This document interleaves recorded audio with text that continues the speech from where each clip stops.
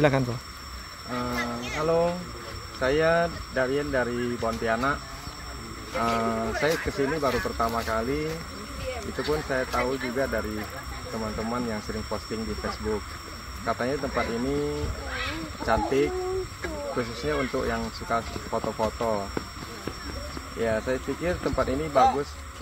Bisa ajak keluarga untuk berlibur ke sini. Khususnya di hari libur begini, ya pasti ramai di sini dan juga saya harap teman-teman juga bisa datang ke sini karena tempat ini bagus untuk berfoto, untuk bersantai. Terima kasih. Saran masukannya untuk Batu Belimbing? Eh, masukannya mungkin tempatnya mungkin mas bisa diperbaharui lagi.